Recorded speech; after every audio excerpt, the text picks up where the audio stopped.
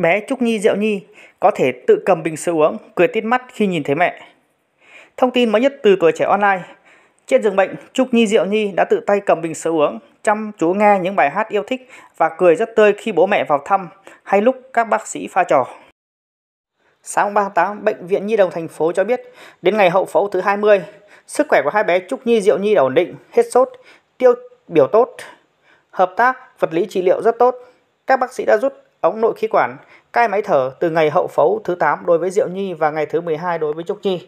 Đến nay hai bé đã tự hít thở khí ngoài trời hoàn toàn và thoải mái vui cười. Về vết thương phần bụng và hông đều khô ráo, kết quả cấy vi sinh đều âm tính. Trên giường bệnh tại phòng hồi sức ngoại, Trúc Nhi và Diệu Nhi tỉnh táo, lém lỉnh, hoạt bát và cười thật tươi khi gặp bố mẹ hay được các y bác sĩ pha trò mà cho xem những bài hát yêu thích trên điện thoại. Hai bé còn tự tay cầm bình sữa uống. Táo và dâu, tên gọi ở nhà của Trúc Nhi và Diệu Nhi của bố mẹ đã cầm bình sữa uống được rồi. Vẫn thích nghe bài hát chúc bé ngủ ngon và baby sắc lắm. Chị Thúy, mẹ của hai bé vui mừng chia sẻ. Sau rất nhiều lần hội trần, các bác sĩ quyết định mổ tách hai bé vào ngày 15 tháng 7 với sự tham gia của gần 100 y bác sĩ. Sau gần 12 tiếng đồng hồ mổ tách thành công, hai bé được chuyển về phòng hồi sức ngoại theo dõi và điều trị tích cực cho đến nay.